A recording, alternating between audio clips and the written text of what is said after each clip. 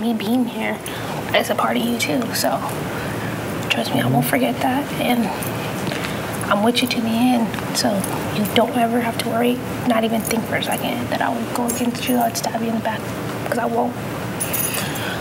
Final two?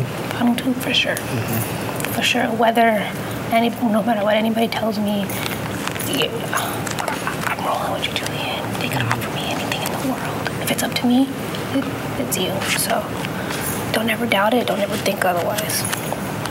You're gonna try 100% the veto, right? Of course. Oh. I want gone.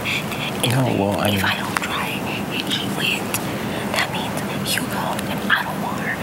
She is standing in the way of final two. I want to have all the power because I want to send her ass home. I want to be the one to send her home Mhm. because that's what it would be.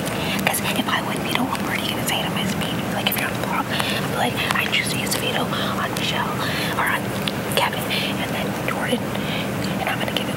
When I call Jordan up, then I can give the speech to Jordan. The only reason I put you up is because in this way I guarantee Michelle goes home, and I wanted to send Michelle home for Sheila. Um, like I want to do that, mm-hmm. so she has to go. So I'm gonna give it my hundred percent.